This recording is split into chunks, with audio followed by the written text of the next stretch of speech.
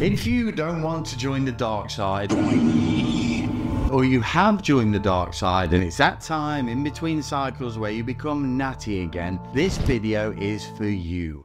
Here are my 5 testosterone boosting hacks that have worked for many of my clients over the years. Quick disclaimer, this is not medical advice, just observations from nearly two decades of coaching thousands of fat loss and strength clients.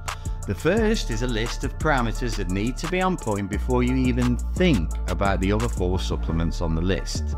Sleep 7 to 8 hours per night, no doom scrolling before bed, a nice dark room and a drop of lavender on your pillow will ensure an epic sleep. Lift weights, strength training stimulates growth hormone and testosterone production. Whole, unprocessed foods, get your calories from quality sources. Vitamin D. Get outside more. A walk in the first 30 to 45 minutes of daylight is optimum, but we can't all do that. So supplementing with 5000 IUs of vitamin D3 a day. The following are dietary supplements that help to increase the body's natural production of testosterone. Number one, cordyceps.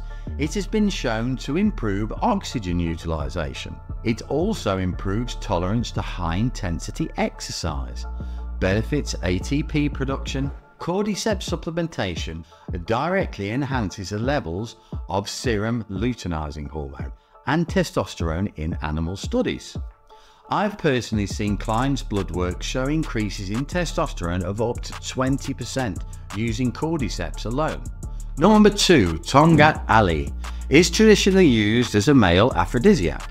Many animal studies show this to be true as the dramatic increase in sexual arousal, motivation and frequency of sexual activity is the same as when testosterone is administered. So the missus will be happy, or maybe she won't. It is also an extremely powerful antioxidant with many other health benefits. It's very important to not take this supplement on its own as it can have negative side effects. It's best taken with zinc picolinate.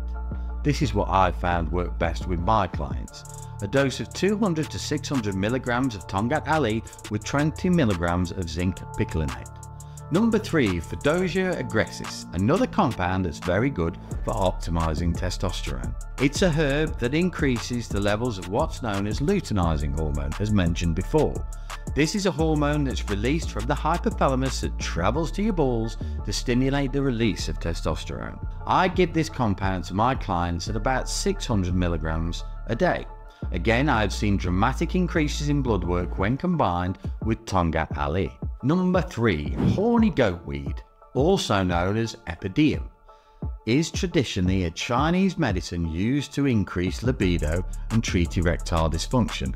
I usually dose this at 1 to 1.5 grams with my clients.